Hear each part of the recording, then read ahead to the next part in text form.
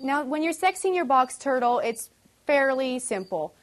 Um, if they're adults, it's easy for you to just look by uh, look and see what sex they are. Males definitely are larger than the females um, in all species of box turtles.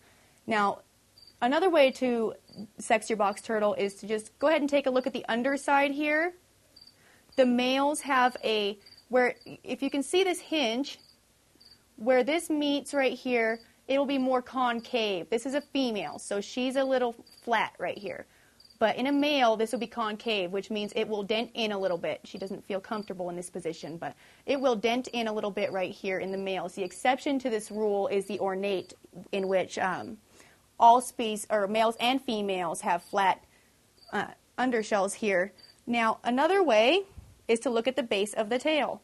If you take a look at her tail here, she's fairly narrow at the base, which is with the tail extended where it meets the body. This is um, fairly narrow. In a male, this would be a little larger.